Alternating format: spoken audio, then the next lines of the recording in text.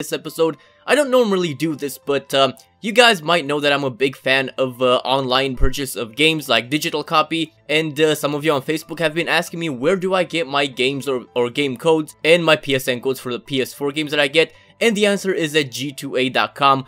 And uh, I will have a link in the description from now on, as well as a discount code that you can save a little bit of money on. But now it's time to get into the actual action in this episode, and we have the first match against Figueirense, or I, I, don't know how to pronounce that, but something uh, odd happens in this match. Cole actually starts the match on the substitutes bench, which hasn't happened so far, and um, right away, pretty early in the first half, they concede, Criciúma concede, and I was like, this is scripted, and they're probably gonna need Cole to bring them back into the lead and not lose this game.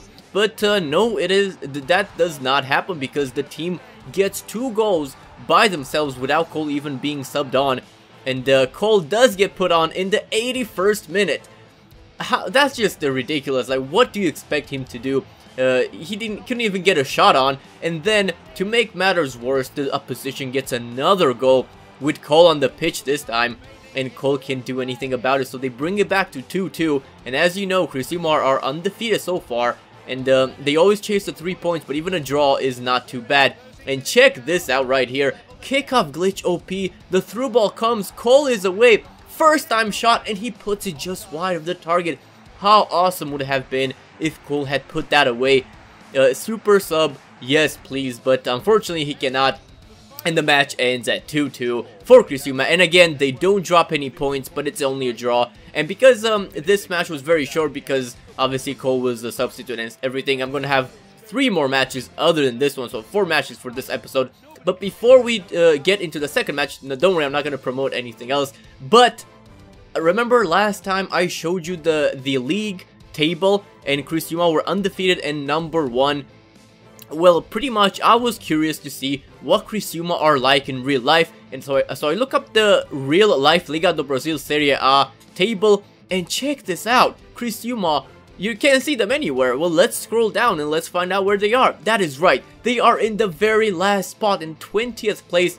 Pretty much almost guaranteed relegation at this point unless they just turn around their season completely as we move on into the second match against Sport Recife.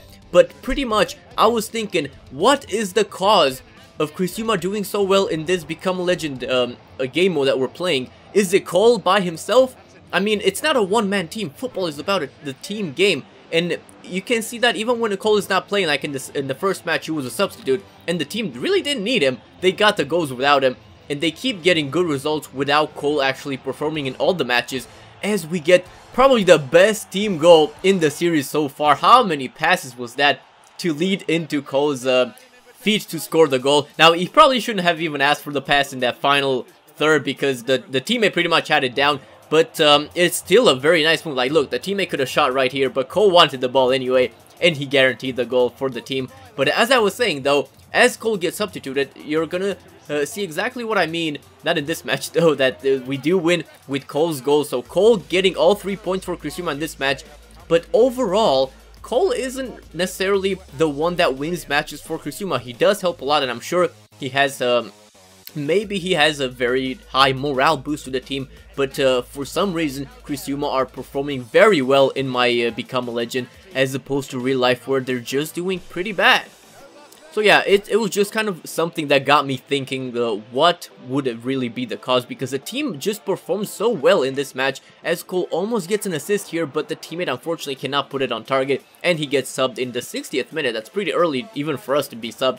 But um, the team again gets a wonderful goal without Cole on, Cole on the pitch and they get to 1 nil ahead against Santos. Um, and by the way, how cool does rain look in PES 2015? I wanted to say this for a long time, but you know, you might not know actually that in um, last year in PES 2014, they didn't have rain because uh, FIFA pretty much had it licensed to their game only. How dumb is that to put a copyright on rain? But uh, fortunately, it's not the case this year. I don't know what happened, but the um, rain looks very realistic in the PES 2015. Now the final match is against Internacional, and um, we have a very, just uh, an awesome looking leap to get the header there. Cole is not the tallest, he's about 5'8", 5'9", but a brilliant leap to get the header there. We just don't win headers from corners, but then we score a fantastic goal on the right foot. I think he let the, the ball drop. I don't. I think it was kind of a half volley, but a great pass into Cole's feet and a great finish um, to put the team 1-0 ahead. Look at that. And I actually looked at the replay, and I'm not going to show you that close up, but it was a little a little derpy because kind of Cole's foot went through the other player's foot. I was just curious how Cole really got on the end of that ball, but that's how his foot went to the through the defender's foot, but it doesn't matter. It's a goal. And um, speaking of goals, the team gets the opposition, Internacional, get one back with uh, some pretty bad defending. And Rafael Moura, no idea if he's actually related to Lucas Moura,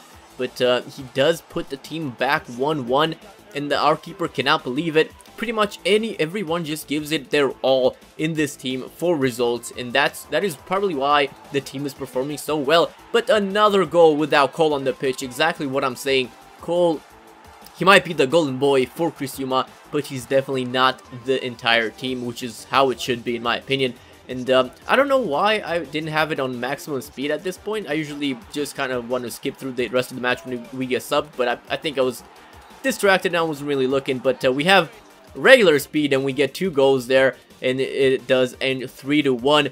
So another good win remains undefeated Criciúma in this and Cole gets 7.5 match rating. Hope you guys enjoyed this Become a Legend episode and leave a like if you did. I've been Shay, thank you for watching, goodbye.